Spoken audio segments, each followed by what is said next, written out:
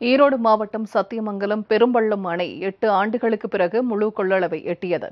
கடம்பூர் மலைப்பகுதியில் கடந்த ஒரு மாதமாக கனமழை பெய்து வருவதால் கெம்பநாயக்கன் பாளையம் மலையடிவாரத்தில் அமைந்துள்ள பெரும்பள்ளம் அணையின் நீர்மட்டம் முப்பத்தோரு அடியை எட்டியுள்ளது.